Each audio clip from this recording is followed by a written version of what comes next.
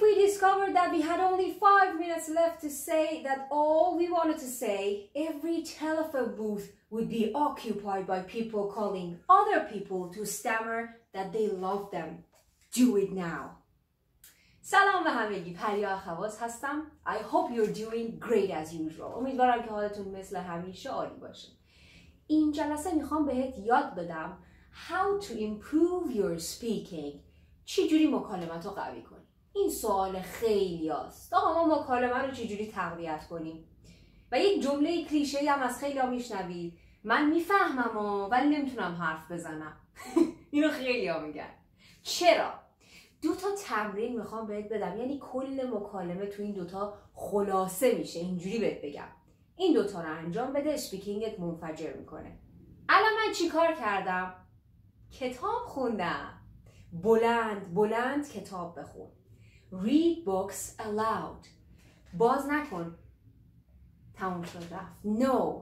Read books aloud. با خودت بلند بلند کتاب بخون. حالا می‌خواد کتاب داستان باشه می‌خواد چیکن سوپ باشه که من خیلی دوستش دارم. Whatever. What is whatever. My favorite is this. پس کتاب رو بلند بلند بخون. چرا میگم بلند؟ به دو دلیل. یک building your, your face muscles. تمام ماهیچه های صورت هم مثل ماهیچه های بدنه.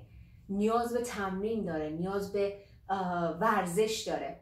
از جمله تانگ زبون. چجوری؟ مثلا آقا با مثال بگم. یک ویالونیست. انقدر تمرین می‌کنه یا آهنگو تا بتونه بزنه.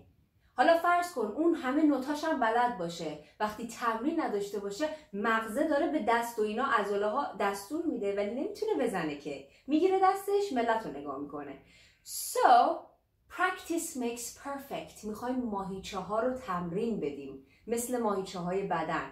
چجوری ماسل, ماسل می‌سازی میری بادی بیلدینگ کار می‌کنی؟ It's the same thing. پس با خودت بلند بلند کتاب بخون. دومین چیزی که این کتاب خوندن بلند داره با صدای بلند اینه که the real correct English you learn. انگلیسی درست و در واقع واقعی رو یاد می‌گیری. چرا؟ چون واسه کتاب اون نویسنده وقت گذاشته و یک انگلیسی درست درمون با گرامر درست با کلمه های قشنگ توی کتاب گنجونده شده. پس بنابراین ذهنت مچ میشه با انگلیسی درست صحیح. پس این این دقیقا خیلی تمرین خوبیه که یک کتاب داستان یک کتاب خوبی رو برداری با خود بلند بلند بخونی. بریم سراغ دومی.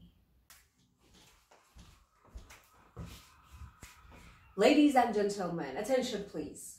We should take into consideration that with the increase of population, the government is facing new obstacles to deal with. For example, or for instance, shortage of food.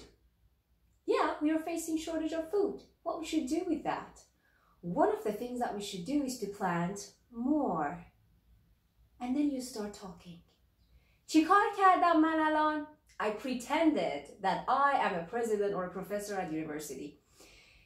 در واقع تظاهر کردم که من یک پرزیدنت یا یک رئیس جمهور یا یک پروفسوری هم توی دانشگاه و دارم give speech می‌کنم. یعنی دارم سخنرانی می‌کنم برای یه تعدادی آدم.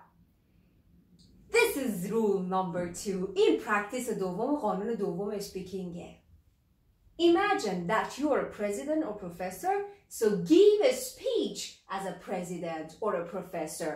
سخنرانی کن.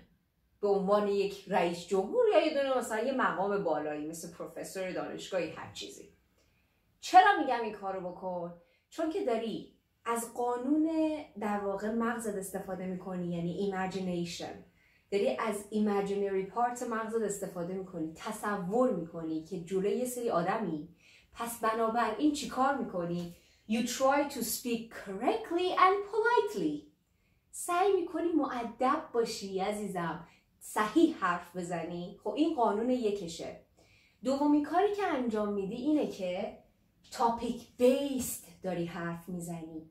راجع به یه topic ی داری حرف می‌زنی. وقتی که target داری یه topic داری پس بنابراین کلمه های مختلف میاد توی ذهنت مربوط به اون topic و شروع می‌کنی حرف زدن و ازشون استفاده می‌کنی. مثلا من راجع به problem ها یا مشکلاتی که با افزایش population و جمعیت مواجه شده دولت دارم حرف می‌زنم. پس یه تاپیک داریم ما. So این بود از قوانین اصلی و تمرین های اصلی مکالمه. این دوتا رو انجام بده مکالمت منفجر می‌کنه. If you wanna learn, join and enjoy. Goodbye!